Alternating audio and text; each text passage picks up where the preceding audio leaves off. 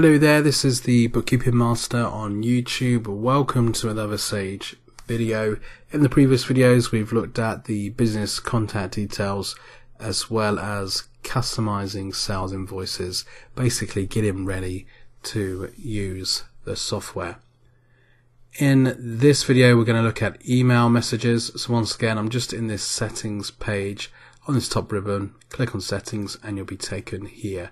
So if I click on email messages, on this page you get to uh, select whether you want to be copied in on documents that you're sending out from Sage and if you want Sage to attach documents as a PDF automatically for you or if you're going to do that manually.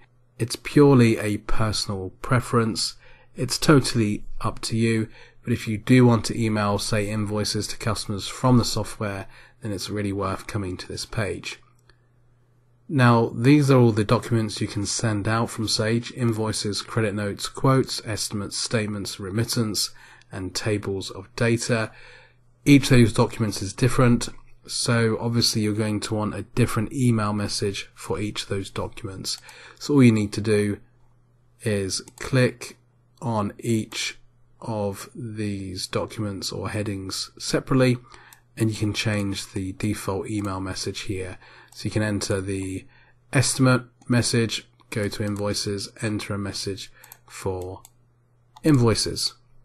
Once that's all done, just click save and it will all be saved to the Sage software for you.